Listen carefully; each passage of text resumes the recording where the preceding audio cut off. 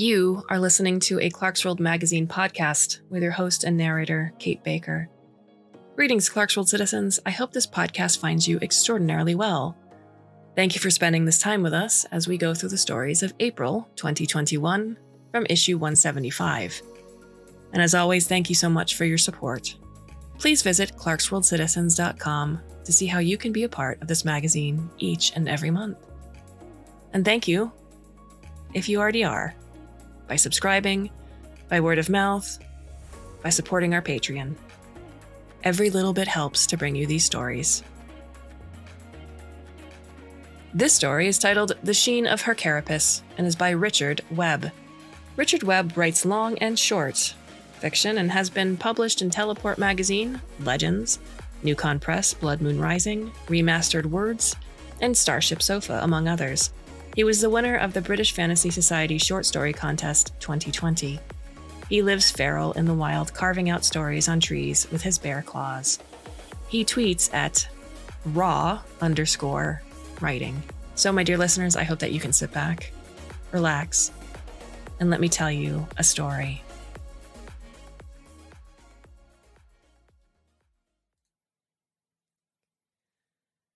Falling in love. Always wondered about that. Falling like it's an accident, tripping over something. Our ship, Perseverance, drifted into orbit of a planet we call Big Yellow. We were wandering lonely as a dust cloud, having jumped away from some bad heat back in Primus sector. Got our shields busted up, lost most of our fuel. So there we were, just sitting in the middle of nowhere, listless, aimless. I guess I was untethered too, isolated, restless, vulnerable to the gravitational pull of anything that might reel me in. I suppose I realize now how lonely I'd been, alone in a crew of a 150 souls, if you believe that. Not many were my sort, all by the book uniform types. Yes, sir. No, ma'am. Snap salutes and buzz cuts. No one else would skin like mine, that's for sure. The discoloration was just a side effect of the gun med drugs. Kept me alert but calm, eased the jitters, gave me a sure aim at two clicks. Earned me two stripes and a sweet pay raise, but I had to keep taking the drug, so my skin was getting worse. You look like a walking bruise, said Petrov, the medic. You should let me check you over. You think I look sick? Well, it's hardly. Her words drifted off all mottled purples like that. I've never seen such a strong reaction to the gun meds before. I'm fine, really, I said. Just to be sure, though, yes? I didn't reply. Her lips smiled at me, but her eyes did not. Listen, I know you get a hard time about it. Most just give me a wide berth. But some of the others, I know that there are real bruises under all that do. Can't be easy. You mean Mendez? Pretty rich coming from the likes of him and the other exo framers. If you ask me, they're freaking weirdos. I meant Ciro. Gotta admit, that came like a tail slap from Raptor Den Mother. Ciro? That's insane. That's done with, but I don't say anything. I think you like standing out because you want to be hurt, she says, just like that, because of your guilt over what happened between you two. I mean, why would you do that to yourself? I continued. Have chromium exostrands attached over your limbs. Petrov frowns. At least their frames are covered up. But you look so different. Oh, guess this is how I'm supposed to be. It doesn't have to be. Why did you refuse the skin bleach treatments? I ain't changing just to please a-holes like Mendez, I said, louder than I meant. Petrov was only trying to be nice. But Ciro? Holy crap, Petrov. What are you going saying that for? It was true that I wanted to get far away from that part of my life, so when the chance came, I signed up and jumped aboard Perseverance. Ship needed gunners to keep bandits at bay, but it didn't sound dangerous until Big Yellow caught our drift, pulling us down without enough juice in the thrusters to kick ourselves clear. The crew was pretty frazzled, out of the frying pan and all that. Too far out to reach the rest of the fleet with our SATCOMs. Plus, we'd lost our admiral during that skirmish on Primus, so morale had taken a kicking and the discipline was ragged. Someone suggested firing distress flares, but we didn't because you just don't know who is going to come looking for you. It was just us, and that was that. All through the tense hours of gravitational descent, we held meetings, planned some, prepped some. The research team ran scans, looking for the usual stuff oxygen, water, food, some sort of usable biofuel source so we could do a quick compact, compost, and combust and get the hell away. The medic team gave us shots for viruses that might be on the surface. The QM team ran a check on supplies, ammo, and Atmos suits. The recon team geared up for touchdown, kit checks, going over call signs and drills. The engineering team got to work on ship repairs, power saves, and security lockdowns. And everyone made sure we were primed to defend ourselves from hostiles. Turned out we didn't have worried so much. Big Yellow was pretty good to us, a breathable, moist atmosphere, confirmed by our sensors as containing water. Plus, the planet had a bioenergy source, though it would take two weeks to harvest and process enough plant matter to see us on our way. Even so, we weren't sure who or what else lived there. First time out, the recon vehicle stayed on radio all the time and gathered a shitload of data. No hostile encounters, nothing more, a few rodent like creatures, and a ton of creepy crawlies. But that was to be expected, landing in jungle. Things weren't going to be easy, but we could make it if we held together for a while. Everyone breathed easier. Second time out, not so good. The recons went farther, but lost contact. Thought we'd lost them for good. Eventually, they reported back. They'd gotten surrounded by creatures. Bugs, they called them. Only they're the same size as us. Most were pretty freaked out by that. No harm done, though. The bugs don't bite. Recon guy said. Reckons they were being studied, so these bugs got to be smart. Though one of Mendez's homies makes a crack about being probed. Huh. Any bug would be smarter than those guys. Anyway, we debated our next move. We needed fuel but had to ration supplies. Staying on board wasn't an option, but leaving the ship didn't appeal much neither. All told, the creatures made our minds up for us. They just came right out to the ship. Hardly surprising a thing like that in your backyard. Pretty soon you'll come to take a peek. Dozens of them showed up on the security screens. Cue another meeting on board. Some were just blasting away, crippled ship or nothing. Some were for meeting them, try and communicate. Of course, Mendez and his game were all for tooling up. I just walked away. Doubt anyone even noticed got an Atmos suit on, and went right out to meet them. Couldn't tell you why, not exactly sure I wanted to die, but looking back in my heart, I was ready. The heart that went numb after Ciro. Like it went black with frostbite or something. Anyway, figured if I went out to see these bugs, we'd learn something, maybe cut through all the BS on ship. I just stood at the bottom of the bay doors. The creature stood too, not moving, just watching. Then one of these bugs, insect folk I prefer to call them, moved forward, real slow. Wasn't aggressive, more like curious, shy even. One of their leaders, I figured, perhaps came to make peace, and that's how it started. The sheen of her carapace shimmered in the light as she came toward me. Never seen anything so beautiful in my whole goddamn life, like living art. I felt it was a she on account of a delicacy in her manner, made me reckon her female, but really I got no idea if they even have a gender. All those colors, some I was pretty sure I'd never even seen before. The way they caught the light. Iridescent, Petrov says.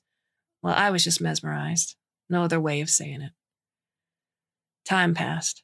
Hours or seconds, I don't know. Just me staring. They got these compound eye like features either side of their heads. Hard to make out, but I'm certain hers were fixed on me, so the two of us was just as transfixed by the other. I walked forward real slow, hands out. I got near to her and reached out, nice and easy. She flinched, but she didn't pull away as I laid my fingertips upon her abdomen. It was cool to the touch, no friction at all, like porcelain. Cool, not cold. Made me feel calm and peaceful. No one made me feel that since him. Her antenna twitched, and I could tell she was figuring me out too. We connected, reading each other right from the start. Petrov said most of the crew were horrified, though some always thought a weirdo like me would get along better with some not human kind. Whatever. It proved the bugs weren't about to feed on our brains or nothing.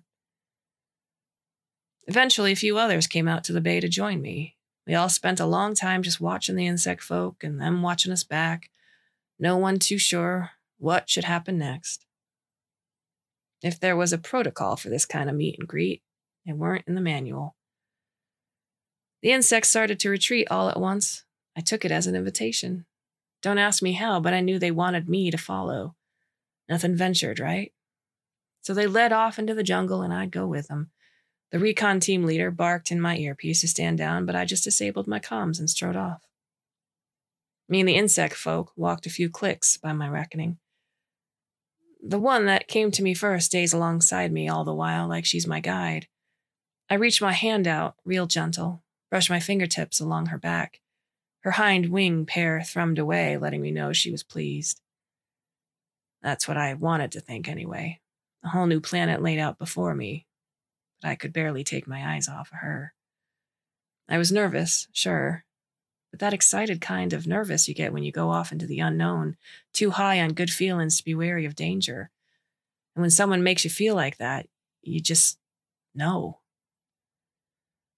Never really knew what I should call her.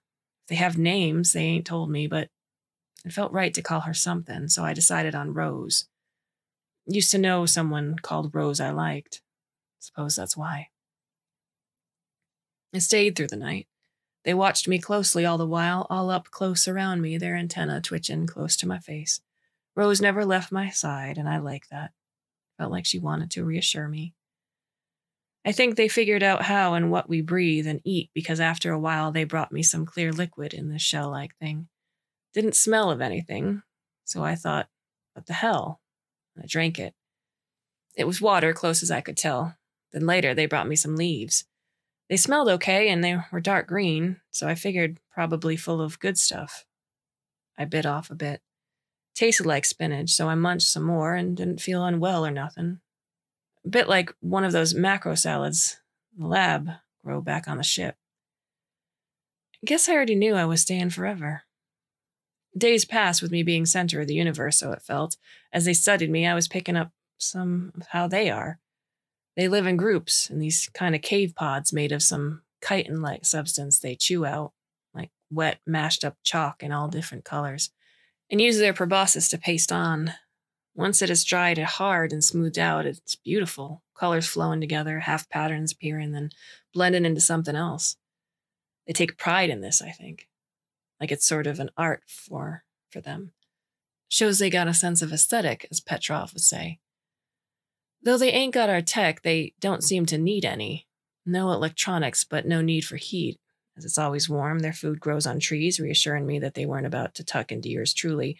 And they don't need vehicles because they don't need to go nowhere. They got water and sanitation figured out good enough. Pretty tuned into nature, I'd say. Simple, uncomplicated, balanced. I like that. There's something relaxed but efficient about them. They got what they needed, need, they got. No frills, no fuss. The peacefulness of it all was pretty sweet. Felt like somewhere a person could really get their shit together. Days later, one of our recon vehicles pulls up nearby. The insects were all agitated by that, and I was anxious too. I didn't want a situation, so I went out to meet it.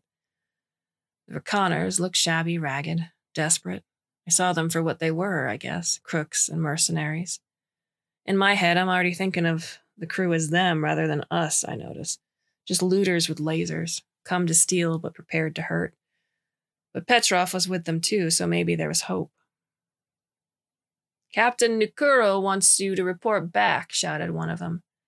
No shit, I said. Since when was she voted captain? Since uh, just after you disobeyed orders, shouted the recon team leader. You goddamn stupid.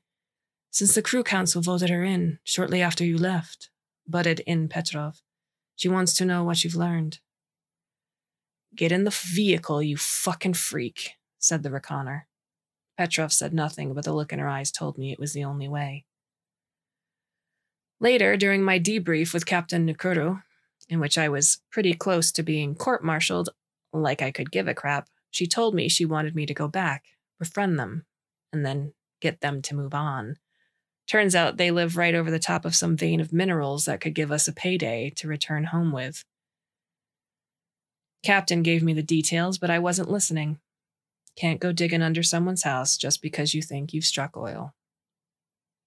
I was confined to med deck with Petrov running observations on me, testing for viruses and such. Reckon she was also ordered to do a psych eval too, only she was real subtle about it, just making conversation, not taking notes. So? she said. I smiled. Where the fuck do I start? And told her what I could. I was worried. I look in her eyes and I know it's true. How did you know they wouldn't harm you? Just did, I guess. Exactly. You guessed. It was more than that. They liked me. Petrov shook her head a little. I think you just wanted someone or something to like you. I ignore that. I'm sure they liked me. Petrov raises her eyebrows, but I continue. It's like I'm in tune with them. I I can't explain except that after a while with them I kind of get what they mean. At least I think I do. You think. Do they speak? No. Well, yeah, sort of. They ain't got speech, but they have a language, sorts. It's all sense and symbols from what I figured. They write? Not how we know it. They emit a spray from that long, thin part they all got. Proboscis, said Petrov. Yeah, and they pattern shapes in the air carrying messages in their sense.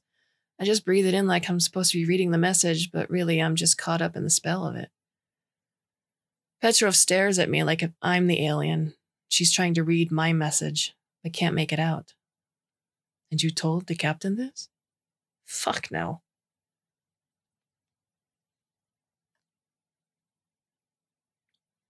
Perseverance was in power down mode so we could store up juice. So it was like perma night on board. Most crew stayed in quarters when not on duty. I couldn't sleep on board no more. Somehow the air didn't feel quite right. Too recycled. Too fake. Plus, I didn't want to breathe in what someone like Mendez had already breathed out. Couldn't stop thinking about Rose. The way she observed me, curious about me, made me feel important. Whereas Petrov observed me out of suspicion. I had to see Rose, but I was confined to the ship. Captain Nukuru's orders. Felt cooped up and skittish, so I took to roaming around the ship like a cat on a hot titanium roof. On the way to the mess hall, I brushed past Mendez and his posse. It was bound to happen. Ah, shit, he says to me. Now I gotta go have a detox scrub. Who knows what bugs the bugs might have, he said. All his cronies laugh. Assholes, I thought, but I didn't say it.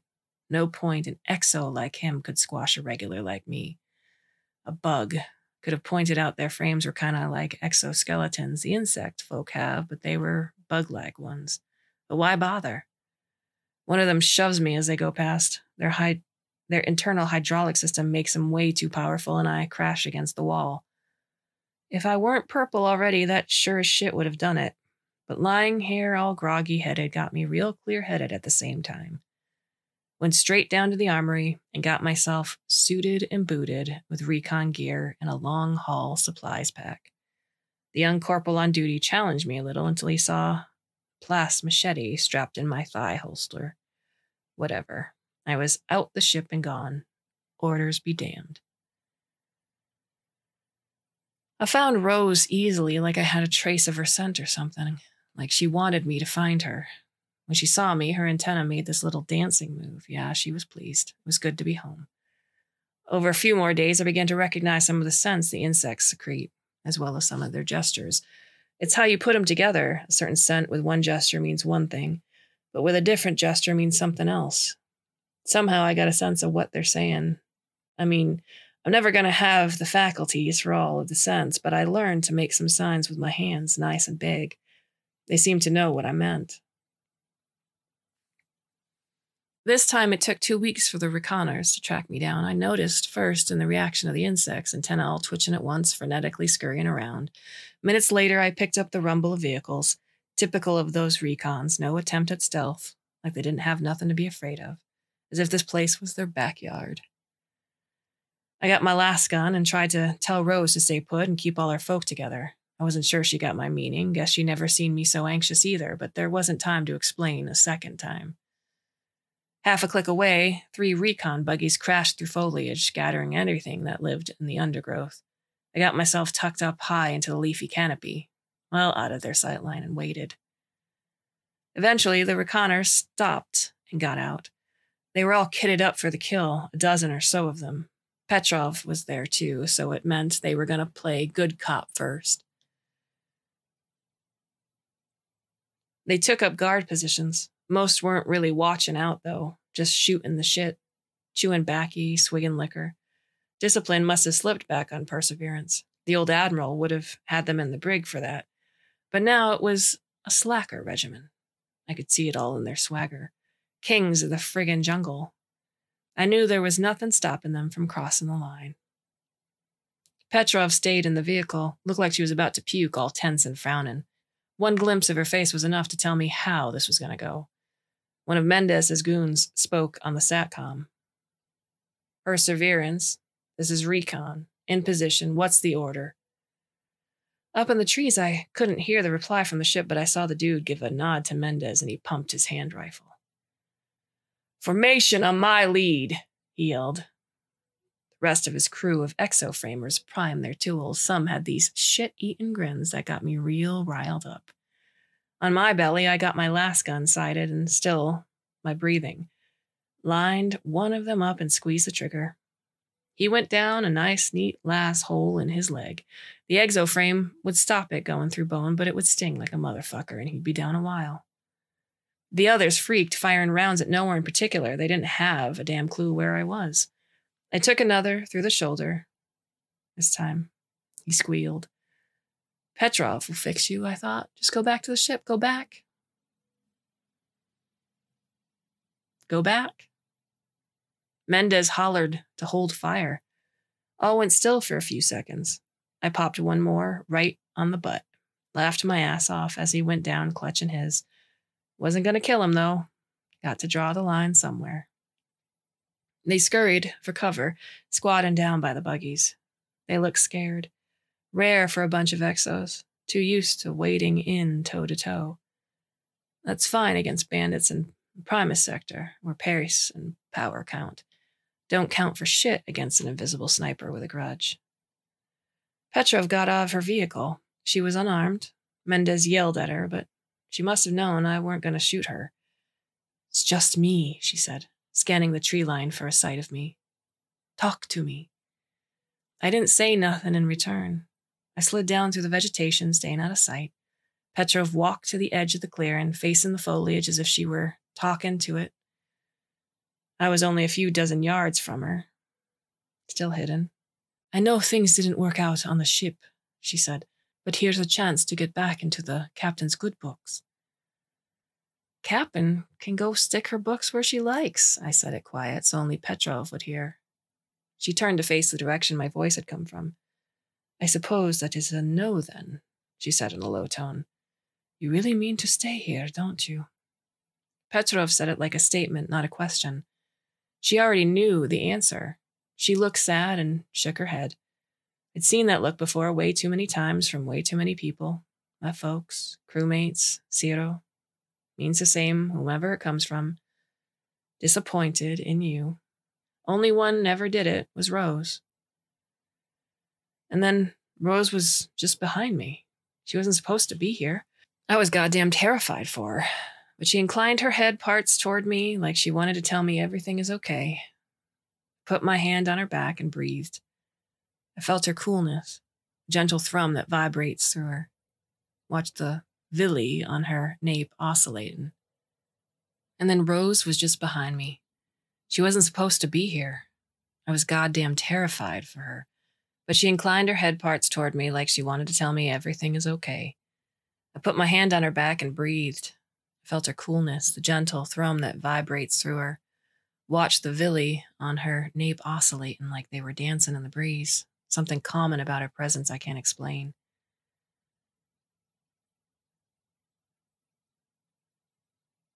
There's something good here for me, I whisper in Petrov's direction. She nodded. How do you know you'll be safe? I don't. I ain't safe on board, neither. I saw Mendez edging forward a few hundred feet back. The insect folk actually like me. Trust me too, I think. What will you do? Watch, learn, live. No orders, no drills, just exist. Petrov's shoulders sagged. She tried. Mendez was much closer now, blaster raised. You got one chance to help us move them out. Only way I'm not gonna blast you to hell, you stupid bug fucker. Fucking Mendez. Wanted to kill everything that weren't like him, as if being like him was so great. Never understood the insect folk, never wanted to. And you kill what you fear, and you fear what you don't understand, right? Well, maybe I never really understood that guy, but definitely feared him. So I killed him. One shot, a beauty exactly where it would pass through his exoframe. Surgical precision. Cutting out a cancer, perhaps. He stared at the hole in his side as his legs buckled. Mendez's crew was stunned. They shouted, cursed, made threats the usual. They were going to start shooting any second, and this time they knew where to aim. But it was like they were waiting for someone to give the order. Petrov turned to face them, holding up her arms. No, she yelled. Everyone froze. She went over to one of them, took his SATCOM radio, asked to speak to the captain. She got pretty worked up, but I didn't hear what she said. Eventually, she was done talking without ever looking over her shoulder. Petrov got them to haul Mendez's body into a vehicle and move out. Guess I made my choice. I gotta live with it. Strange thing was, I actually shed tears, mostly from all the adrenaline fizzing around in me. But it was the first time I killed someone, even though it was Mendez. Sometimes things just creep up on you like that. Once Rose and I got back amongst the insects, they all came round me, all buzzing and stuff. Guess they hadn't seen no one cry before, like they got to study and process it. Rose stayed up close, stroking my face with her antenna. So gentle, like she was trying to comfort me. It worked. Sensitive folk, the insects. Life went on, and I learned more all the time. I watched them chatter with their scent gestures, getting a handle on it all and I think I figured out what Rose found so curious about me. They love colors, and to them, certain colors are auspicious. There's a word Petrov would have used, a fine word for lucky, but anyway, purple is their thing, and with me looking like a damson berry because of the gun meds, I think I was kind of a good omen. There's never a sexual thing with me and Rose. I haven't even figured out yet how they do it, but I could live with that. We ourselves, a sort of intimacy that was like a stage beyond A feeling of well being without a huffing and puffing that goes with it. They don't consider themselves individuals the same way we do. Everything is social with them, all about the group. I think they even share thoughts. Sure as shit, that would freak out most folk back home, but the insects make it work. Access to information, ideas, decisions. Got an equality to it, like everyone is part of the community. A lot we could learn mm. from that. Then again, not sure I want to know the thoughts of guys like Mendez. But anyway, I don't have to think of them no more. Perseverance went on its way a good while ago. Heard it from miles away. Rose has been spending much of her time alone of late, not so much with her kind, but not so much with me neither. Figure she's been getting a bit of a hard time from some of the others. Pretty sure I'm the reason. Don't know if I make them nervous because maybe they didn't reckon on me sticking around. Maybe I'm just too strange for them after all, but Rose hasn't been interacting with the rest like normal. Maybe my weirdness is leaving its taint on her, too. I wonder if being close to me was just some sort of interesting experiment, or maybe even some sort of rebellion against the ways of her own kind. Perhaps some attempt on her part to be different. The other day, several of them surrounded her, all frantic gesturing, and there was a definite sour note in the air. Rose was low on her hind legs, like she was hemmed in by them all. I saw a few of them gesture in the direction of me and also my las gun, propped up inside the pod. Reckon they're still shaken by what happened with Mendez. Probably the biggest thing to ever happen around here. It was a first contact for them too, of course. Except they just can't fly off or forget all about it. Not with me still here. Maybe I thought I could be their protector, but now Perseverance is gone. I bet they're wondering who they really need protecting from. Rose turned in my direction and then away. Didn't respond when I waved to her. Don't have to be human to get what that meant. Maybe now my gun meds are wearing off and my skin ain't so colorful as I'm not as exotic as I was. Not auspicious. I watch as she crawls to an empty pod. The sheen of her carapace shimmering in the light as she turns away from me. Never seen anything so beautiful my whole goddamn life. Like living art. I could never hurt her or any of them. I've broken beautiful things before, and I ain't going back to that. Pick up my last gun. Few of the insect folks are watching me, but that's okay. I want them to watch, even if Rose can't look my way. I dismantle the last gun piece by piece, laying each part carefully on the floor in front of me, hoping my meaning is clear. You kill what you fear, and you fear what you don't understand, right? Well, I understand. So there's nothing to fear. Once it is done, I sit there, knees up to my chest, and it's a damn humid night. I just stare at what is left of my gun, just a scatter of pieces that didn't make any sense, parts without partners, odd shaped bits that have no meaning when they're apart from the others. I feel dismantled. I'm a piece removed. Reckon I will head out alone once it gets light. I think of Ciro all those years ago, and I feel cold.